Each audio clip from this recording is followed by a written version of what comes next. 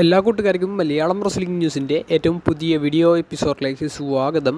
ഞാൻ അൻവർ. ഇന്ന് ഞാൻ നിങ്ങളുമായി പങ്കുവെക്കുന്ന ഡെയിലി അപ്ഡേറ്റ്സിലെ ആദ്യ അപ്ഡേറ്റും റിയ റിപ്ലിക്ക് ഇന്ന് നടന്ന റോ എപ്പിസോഡിലൂടെ പുതിയ ടൈറ്റിൽ കൊടുത്തതിനെ സംബന്ധിച്ചാണ്. ഇനി മുതൽ റിയ റിപ്ലിയുടെ കൈവശമുള്ള ചാമ്പ്യൻഷിപ്പ് വുമൻസിന്റെ വേൾഡ് ചാമ്പ്യൻഷിപ്പ് എന്നാണ് അറിയപ്പെടുക. അപ്പോൾ സ്മാക്ഡൗണിന്റെ ചാമ്പ്യൻ ആയിക്കൊണ്ട് ആസ്കക്ക് പുതിയ ടൈറ്റിലും റോയുടെ വുമൻസ് ചാമ്പ്യൻ ആയിക്കൊണ്ട് റിയയ്ക്ക് പുതിയ ടൈറ്റിലും ഇതിനോടകം ഇപ്പോൾ ഡബ്ല്യു ഡബ്ല്യു കൊടുത്തിട്ടുണ്ട്. എന്തായാലും ഇപ്പോൾ ഡബ്ല്യു ഡബ്ല്യു പുതിയൊരു ഡിസൈനുകൾ ഇൻട്രൊഡ്യൂസ് ചെയ്തതിലൂടെ സ്മാക്ഡോണിൽ അൺഡിസ്പ്യൂട്ടഡ് ടൈറ്റിൽ കൊണ്ടുവന്നതുപോലെ സമാനമായിട്ടുള്ള ഒരു ടൈറ്റിൽ തന്നെയാണ് ആസ്കക്ക് കൊടുത്തിട്ടുള്ളത്. സെത്രോളിൻസിന്റെ കൈവശമുള്ള വേൾഡ് ടൈറ്റിലിന് സമാനമായ ഒരു വുമൻസ് വേൾഡ് ടൈറ്റിലാണ് റിയക്കും കൊടുത്തിട്ടുള്ളത്. എന്തായാലും വമ്പൻ ഒരു മാറ്റങ്ങളൊക്കെ ഡബ്ല്യു ഡബ്ല്യുയിൽ ഇപ്പോൾ വന്നുകൊണ്ടിരിക്കുന്നു. ഇനി കൂടുതൽ മാറ്റങ്ങളൊക്കെ വരും എന്നുള്ള ഒരു അപ്ഡേറ്റും കൂടിയാണ് പുറത്തേക്ക് വരുന്നത്. ഇന്ന് നടന്ന റോ എപ്പിസോഡിലെ ഒരു മെൻസിന്റെ ലെറ്റർ മത്സരത്തിലേക്കുള്ള ക്വാളിഫയിങ് മത്സരത്തിൽ മാറ്റ് റിഡലിനെ പരാജയപ്പെടുത്തിക്കൊണ്ട് ഡെമിൻ പ്രീസ്റ്റ് ക്വാളിഫൈ നേടുന്നതാണ് നമുക്ക് കാണാൻ സാധിച്ചത്. ഡെമിൻ പ്രീസ്റ്റും കൂടി ക്വാളിഫൈ നേടുന്നതിലൂടെ ആറ് പേരും ഈ ഒരു ലെറ്റർ മത്സരത്തിലെ പാർട്ടിസിപ്പൻസ് ഉറപ്പിച്ചിരിക്കുന്നുണ്ട്. അപ്പോൾ ആ ഒരു ഉറപ്പിച്ച ആറ് പേരെ നമ്മൾ നോക്കുകയാണെങ്കിൽ L A Knight Santos Escobar Butch ഇപ്പോൾ ഈ റോയിൽ നിന്ന് റിക്കഷെ ഷിൻസ്ക നാക്കമോറ ഡെമീൻ പ്രിസ്റ്റ് ഇങ്ങനെ ഒരു ആറ് പേരാണ് മെൻസിന്റെ ലെറ്റർ മത്സരത്തിൽ പങ്കെടുക്കുന്നത്. ഇതിൽ വിജയ സാധ്യത ആർക്കൊപ്പമാണെന്നുള്ള നിങ്ങളുടെ അഭിപ്രായം കമന്റ് ബോക്സിലൊന്ന് രേഖപ്പെടുത്തുക. മൂന്നാമത്തെ അപ്ഡേറ്റ് അടുത്ത റോ എപ്പിസോഡിലേക്ക് ഇപ്പോൾ തന്നെ കൺഫേം ചെയ്തിട്ടുള്ള സെഗ്മെന്റുകളെയും മത്സരങ്ങളെയും സംബന്ധിച്ചാണ്. സെത്രോളിൻസിന്റെ വേൾഡ് ഹെവി വെയ്റ്റ് ചാമ്പ്യൻഷിപ്പിന്റെ ഓപ്പൺ ചലഞ്ച് മത്സരം അടുത്ത റോ എപ്പിസോഡിലേക്ക് ഇപ്പോൾ തന്നെ കൺഫേം ചെയ്തിട്ടുണ്ട്. ലോഗൻ പോളിന്റെ റിട്ടേണും അടുത്ത റോ എപ്പിസോഡിലേക്ക് കൺഫേം ചെയ്തിട്ടുണ്ട്. റോ ലോഗൻ പോളിന്റെ അടുത്ത സ്റ്റോറി ആർക്കെതിരെ എന്നുള്ളതിന്റെ സൂചനയും അടുത്ത റോ എപ്പിസോഡിലൂടെ ലഭിക്കും. Bronson Reed versus Shinsuke Nakamura തമ്മിലുള്ള ഒരു സിംഗിൾസ് മത്സരവും അടുത്ത റോ എപ്പിസോഡിലേക്ക് കൺഫേം ചെയ്തിട്ടുണ്ട്. നാലാമത്തെ update money in the bank എന്ന സ്പെഷ്യൽ ഇവന്റിൽ ഗുന്ദർ എന്ന നിലവിലെ ഇന്റർ കോണ്ടിനൽ ചാമ്പ്യന് മത്സരം ഉണ്ടായിരിക്കുമെന്നുള്ളത് ഇപ്പോൾ ഏകദേശം ഉറപ്പായിരിക്കുന്നു.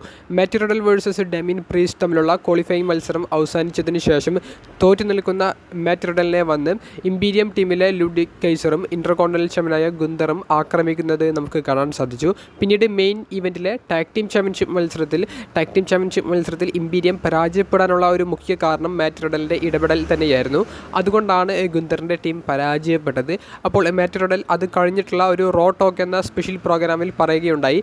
തനിക്ക് മെൻസിന്റെ ലെറ്റർ മത്സരത്തിലേക്കുള്ള ആ ഒരു വഴിയാണ് അടഞ്ഞിട്ടുള്ളത്. എന്നാൽ മണി ഇൻ ദ ബാങ്കിൽ പങ്കെടുക്കുന്നതിന് പുതിയൊരു വഴി താനിപ്പോൾ കണ്ടുപിടിച്ചിട്ടുണ്ടെന്ന് പറയുന്നുണ്ട്. അത് റിഡലും ഗുന്ദറും തമ്മിലുള്ള ഇന്റർ ചാമ്പ്യൻഷിപ്പിനുള്ള ഒരു വഴി തന്നെയായിരിക്കും റിഡിലിന്റെ മുന്നിലുള്ളത്. മറ്റൊരു അപ്ഡേറ്റ് ഇന്ന് നടന്ന റോ എപ്പിസോഡിലൂടെ മണി ഇൻ ദ ബാങ്കിലേക്ക് പുതുതായി കൺഫേം ചെയ്തിട്ടുള്ള മത്സരങ്ങളെ സംബന്ധിച്ചാണ് Cody Rhodes versus Dominik Mysterio തമ്മിലുള്ള സിംഗിൾസ് മത്സരം കൺഫേം ചെയ്തിട്ടുണ്ട്.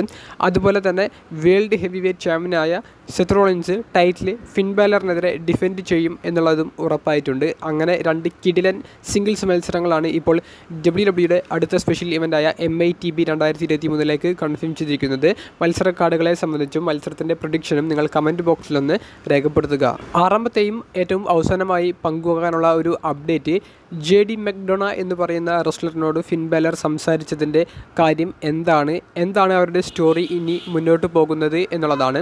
അതായത് ജഡ്ജ്മെന്റ് ഡേയിലേക്ക് ജെ ഡി മെക്ഡൊണ എന്ന ഇപ്പോൾ നെക്സ്റ്റിൽ നിന്ന് റോയിലേക്ക് വന്ന ആ ഒരു പുതിയ കോളപ്പ് റെസ്ലറിനെ ഏഡ് ചെയ്യാനുള്ള സാധ്യത ഉണ്ടെന്നുള്ള റൂമേഴ്സ് കുറേയധികം ആഴ്ചകൾക്ക് മുൻപേ പുറത്തേക്ക് വന്നിരുന്നു. ഇന്നത്തെ റോ എപ്പിസോഡിൽ ഫിൻ ബാലറും ജെ ഡി മെക്ഡൊണയും അവസാനത്തെ മണിക്കൂറിൽ സംസാരിക്കുന്നതും നമുക്ക് കാണാൻ സാധിച്ചു. അപ്പോൾ അതിന് അർത്ഥം കൊടുക്കുന്നത് ജെ ഡി മെക്ഡൊണയെ ജഡ്ജ്മെന്റ് ഡേയിലേക്ക് ഫിൻബലെ റിക്രൂട്ട് ചെയ്യാനുള്ള സാധ്യത ഉണ്ട് എന്നുള്ളതാണ്. എന്നാൽ അവിടേക്ക് ഡെമിൻ പ്രിസ്റ്റിന്റെ ഒരു കടന്നുവരവ് നടന്നപ്പോൾ ജെ ഡി മെക്ഡൊണ അവിടെ നിന്ന് പോയുന്നുണ്ട്. അപ്പോൾ ചിലപ്പോൾ ഫിൻബലർ ജെ ഡി മെക്ഡൊണയോട് പറഞ്ഞിട്ടുണ്ടായിരിക്കുക ഡെമിൻ പ്രിസ്റ്റിനെ പുറത്താക്കിക്കൊണ്ട് നിന്നെ ഗ്രൂപ്പിലേക്ക് ആഡ് ചെയ്യാം എന്നുള്ളതാണ്.